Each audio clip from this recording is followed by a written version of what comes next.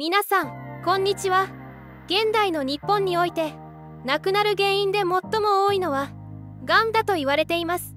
実際に2023年には亡くなった方のうち約4人に1人はがんで亡くなっているそうです。このように非常に危険ながんですが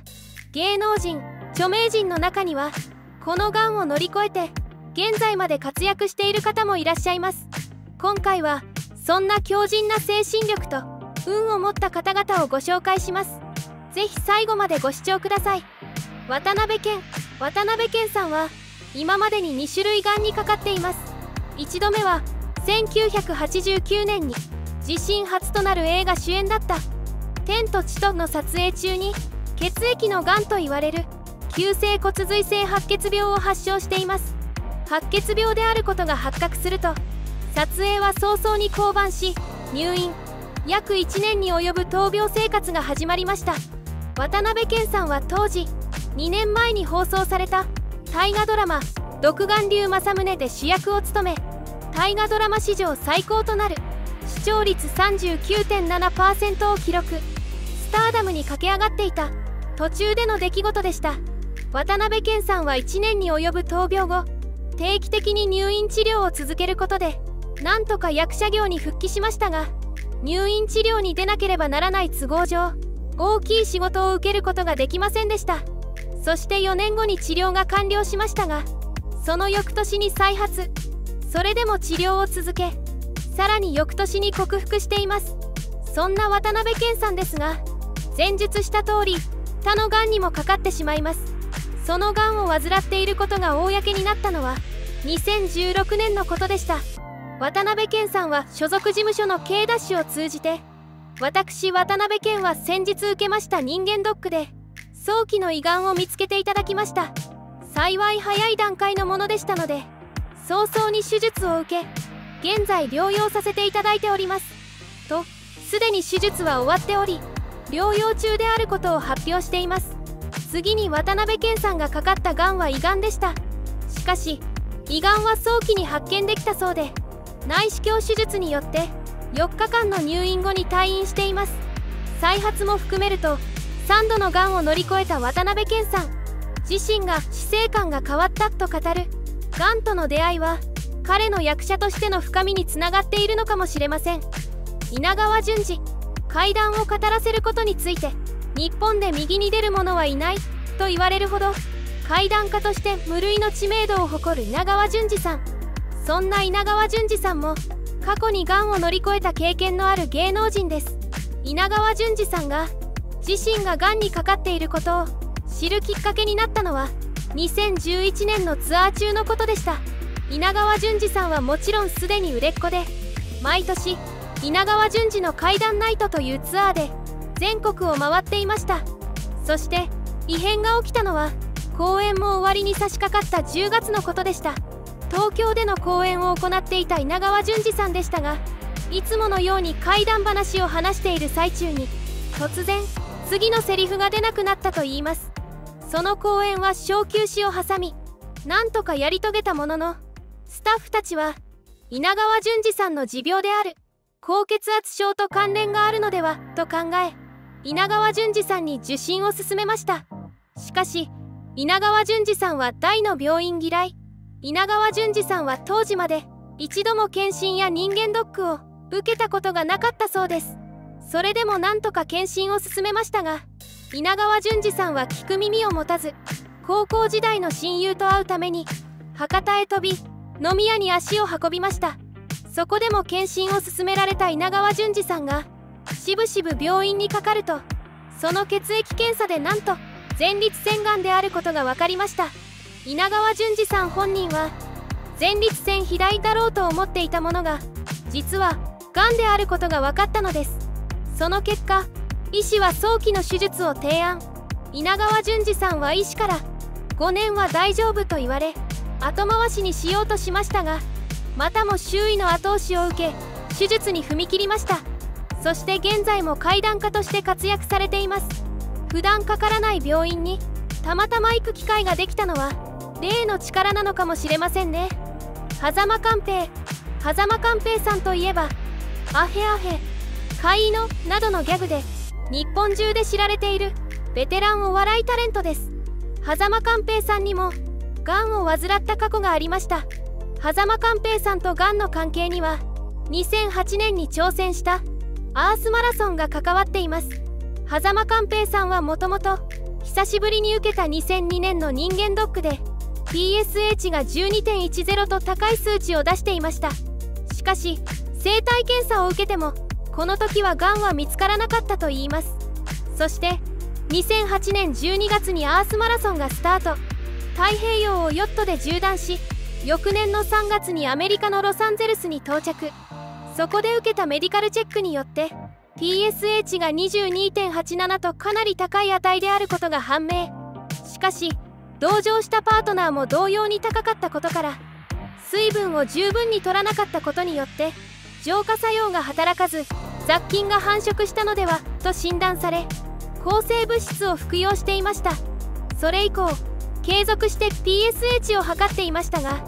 若干の減少は見せたものの高い値で推移しており2009年の12月に急上昇したことを契機に翌年の1月に生体検査を受け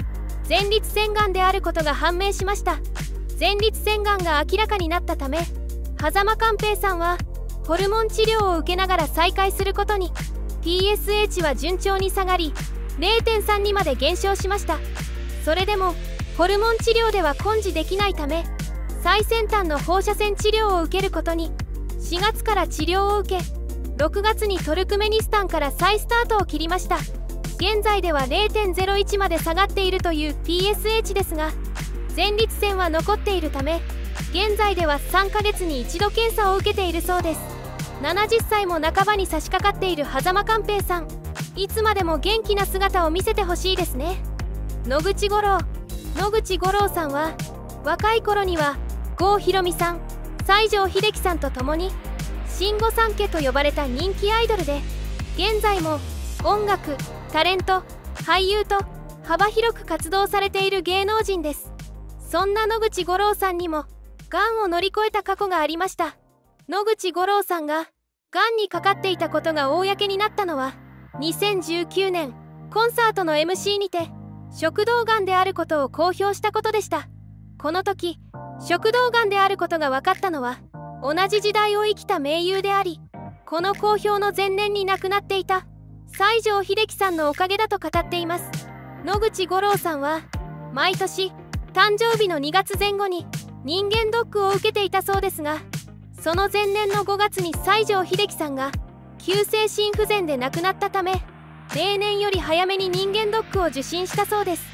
すると2018年の11月に受けた人間ドックで内視鏡検査によって食道がんであることが判明。ステージこそ公表していないものの初期の食道がんと公表しています。野口五郎さんは食道がんの手術をする際に執刀医からこんな早い状態で発見されるなんて野口さんには神様がついてるよと言われ神様がいるとしたら秀樹のことだよと思ったそうです。こうして早期に発見することができた野口五郎さんは医師からももう大丈夫と太鼓判を押され現在まで再発や転移をすることなく完治したと言われています。惜しくも63歳という若さで亡くなってしまった。西城秀樹さんでしたがそれによって友人の野口五郎さんが助かったことは天国で喜んでくれているのではないでしょうか。柴田恭平舘ひろしさんと共に主役を務めた「危ないデカ」シリーズやこちらも主演の「はみ出しデカ」などで知られるベテラン俳優柴田恭平さん。70歳を超えた現在も2024年に放映される映画「危ないデカ」の続編を撮影していた元気な柴田恭平さんですが過去にがんを患った過去がありました。柴田恭平さんががんを患ったのは2006年のことでした。この時 NHK のテレビドラマ「ハゲタカ」の撮影中だった柴田恭平さんでしたが自身の体に違和感を感じて病院を受診したところ肺がんであることが判明。しかしかなり早期でステージ1であったため手術と短期のリハビリを経て数ヶ月後には現場に復帰しています。驚異の回復力を見せた柴田恭平さんでしたがさすがに病み上がりということもあり共演者は痩せ細った柴田恭平さんを心配していたそうです。柴田恭平さんはもともと「危ないデカ」シリーズでも知られていたヘビースモーカーでしたが肺がんの罹患をきっかけに禁煙に成功。肺がんはがんの中でも再発率が高く50から60%と言われていますが現在まで再発や転移は報告されておらず完治したとされています。現在痩せすぎなのではと話題に上ることもある柴田恭平さんですが来年放映の映画「帰ってきた危ないデカ」の撮影をしていたという話がありますし元気な状態であると思われます。市村正親劇団四季のミュージカル俳優として有名になり現在ではテレビドラマや映画にも出演する舞台から撮影までこなせる俳優市村正親さん。そんな市村正親さんも過去にがんを克服していました。市村正親さんががんであることが判明したのは2014年のことでした。そしてこのがんは早期発見に至ったのですがこれには奥さんの篠原涼子さんが大きく関わっていました。というのも篠原涼子さんは普段から食事を細かく記録するレシピノートをつけていたそうで篠原涼子さんがレシピノートによって市村正親さんの食べる量が減ったことに気づき病院で診察を受けるよう勧めたのだそうです。そしてこの時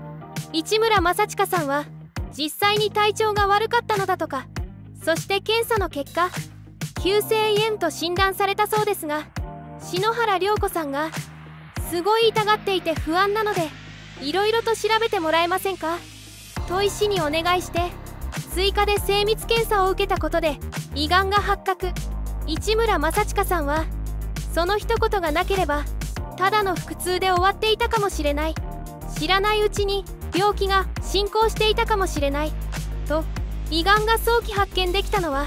篠原涼子さんのおかげだったと明かしています。こうして市村正親さんは約2週間入院し腹腔鏡手術を受けたのですが篠原涼子さんはその間仕事をキャンセルして支えてくれており手術が成功したことを聞いた際には2人で抱き合い涙を流して喜んだそうです。市村正親さんはこのことについて妻からはいろんな宝をいただいたけどまたもう一つ命という宝をいただいた気がする。命の恩人です。と語っています。そして退院後も篠原涼子さんは新鮮な野菜をいつでも食べられるようにとベランダを家庭菜園に作り変えるなど献身的に市村正親さんをサポートしたそうでその甲斐あって市村正親さんは順調に回復。市村正親さんは手術の1ヶ月後には舞台復帰も果たしているのですが篠原涼子さんはそんな市村正親さんの姿を子供たちと一緒に客席から見つめていたそうです。王貞治世界の王と呼ばれ現役通算868本塁打という世界的なアンタッチャブルレコードを達成した日本プロ野球界のレジェンド王貞治さん。現役を退いてからも当時弱小だった大英ホークス。現福岡ソフトバンクホークスを上昇軍団へと変える。第1回 WBC を優勝に導くなど日本のプロ野球界に多大な貢献をしてきました。そんな王貞治さんにもがんを患っていた過去があります。王貞治さんががんを患っていることが公にされたのは2006年7月5日の西武戦後の記者会見での胃に腫瘍ができているとの発表でした。翌日から胃がんの治療のためにチームを離れて休養に入りました。胃がんの手術については慶應義塾大学にて胃を全て切除する全摘出術でお腹を切らない腹腔鏡下手術が行われました。これは王貞治さんが一日でも早く現場に戻るために選択した術式だったそうです。手術の結果王貞治さんは8月2日に退院し記者会見を開き皆さんの激励に支えられて生還できたと語っていました。そして翌年の春季キャンプから監督業に復帰チームを3位に導いています。現在では福岡ソフトバンクホークスの取締役会長球団特別アドバイザーを務めています。高木義彦1980年から90年代にかけて活動していた藤井フミヤさんがボーカルを務めていた。人気バンドチェッカーズ。そのサイドボーカルとして活躍していた高木義彦さん。高木義彦さんもかつてがんを経験した一人です。高木義彦さんが自身の異変に気づいたのはチェッカーズが解散した1992年から10年が経過した2002年のことでした。2002年の夏テレビドラマの撮影が終わった午後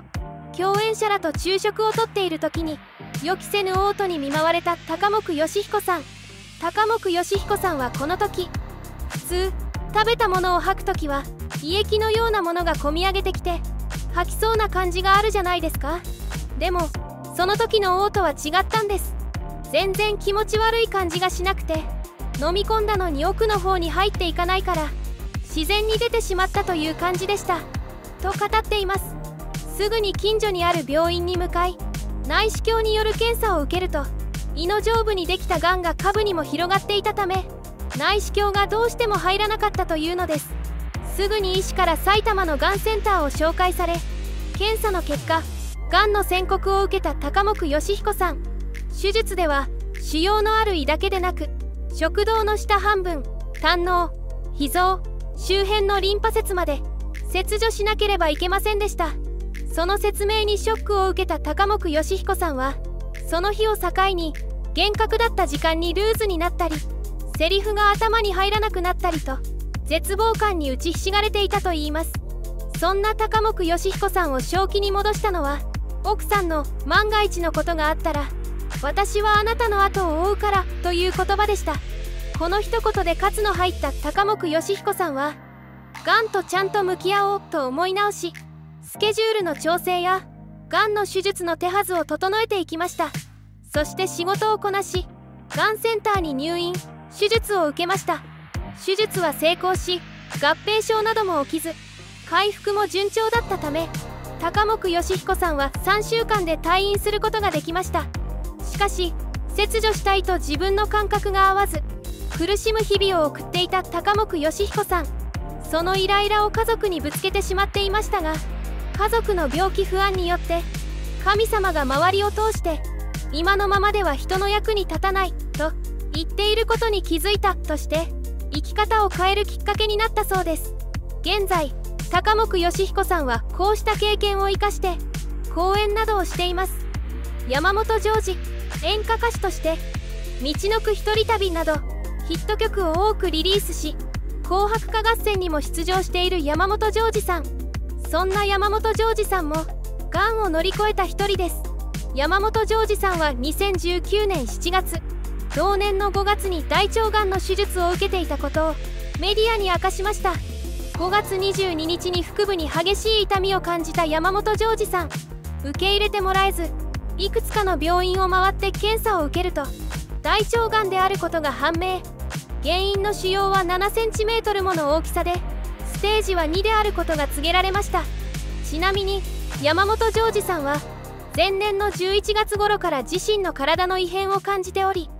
腹部の痛みをたびたび感じていましたが風邪薬を飲むと緩和されることやお酒を飲むことで調子が良くなっていたために奥さんの植木悦子さんから検査を勧められていたものの病院にはかかっていませんでした。結局手術で大腸を 20cm 切除した山本譲二さん。6月6日に退院し29日の病理結果では転移はなかったそうです。ただ前腸や奥さんの勧めを無視して検査を受けなかったことについてもっと早く病院に行って検査していたら小さなポリープで済んだかもしれない。それを放っておくからダメだったと自身の軽率な行動を反省していました。手術を受けたことを発表した会見では命ある限り歌っていきたいと語った山本譲二さん。現在も2023年の9月にシングルをリリースするなど活躍を続けています。桑田佳祐。日本で知らない人はいないほどの人気と知名度を誇るバンド。サザンオールスターズ。数十年にわたって現在までずっと売れ続けているモンスターバンドです。そのサザンオールスターズのボーカルを務めるこちらも知らない人はいない桑田佳祐さん。桑田佳祐さんも過去にがんを乗り越えた経験者です。桑田佳祐さんが自身ががんを患っていることを公表したのは2010年のことでした。症状について自身がパーソナリティを務めるラジオ番組。桑田佳祐の優しい夜遊びで明かしていました。桑田佳祐さんは年に一度定期検診を受けており2010年は以前よりも少し早めて7月に受診していました。検査によって食道が荒れていることが分かり内視鏡検査によってしこりが発見。悪性腫瘍の可能性が高いとして細胞を病理検査したところ扁平上皮がんであることが判明しました。その後の再検査で幸いにもステージ1の食道がんであると診断され手術に至りました。手術は8月にすぐ腹腔鏡で行われたこと。特別な栄養療法を受けたことによって傷は小さく痩せることもなかったそうです。その後の病理検査で転移も見られなかったため22日には退院。声への影響が心配されましたが影響は見られませんでした。30から50%の確率で転移すると言われている。転移率の高い食道がんですが桑田佳祐さんは現在も転移は確認されていないようです。これからも多くの人に歌を届けていってほしいですね。西川きよし。漫才コンビやすしきよしとして活躍しさまざまな芸人から清師匠と呼ばれ慕われているベテランお笑い芸人西川きよしさん。一時は国会議員にも挑戦していた方です。そんな西川きよしさんも過去にがんを経験した一人でした。もともと60代に入った頃から前立腺肥大症を持っていたという西川きよしさん。西川きよしさんががんと判明するきっかけになったのは奥さんの西川ヘレンさんの一言でした。前立腺肥大症以外にも西川きよしさんの頻尿が気になっていたというヘレンさん。前立腺肥大症の影響によるものと当初は思っていたそうですがある時から夜中にトイレで起きる回数が増えたといいます。毎年人間ドックは受けていたそうですが西川きよしさんと一緒に寝ているヘレンさんは西川きよしさんがトイレで起きるたびに起きており頻度がひどくなったため心配になり西川きよしさんに病院での検査を提案しました。その提案を受け病院で検査をすると前立腺がんであることが判明。西川きよしさんは比較的進行が遅いと言われる前立腺がんでしたが薬を使わず根治のために手術を選択しました。西川きよしさんはこの選択について当時69歳まだまだ仕事を続けたくていずれ手術の可能性があるなら2度手間でしょと語っています。西川きよしさんはヘレンさんの提案に対して小さなことからコツコツと家内が見てくれていたことが後押しになった。ありがとうございます。と感謝を述べヘレンさんはあの時主人に強く言ってよかった。やはり家内として異変を感じた時は声かけをして背中を押すことが大切。夫婦だからこそ分かることがある。と自身の決断について語っていました。いかがでしたか？今回は過去にがんを乗り越えた芸能人を11人ご紹介しました。今回紹介した方々はさまざまな要因によって早期に発見できた方が多くそれによってがんを乗り越えることができています。やはり健康が一番ですのでこの動画をご覧になった皆さんは人間ドックや詳しい検査を受けてみてはいかがでしょうか？最後までご視聴いただきありがとうございました。コメントを残してくれると嬉しいです。チャンネル登録高評価もぜひお願いいたします。それではまた。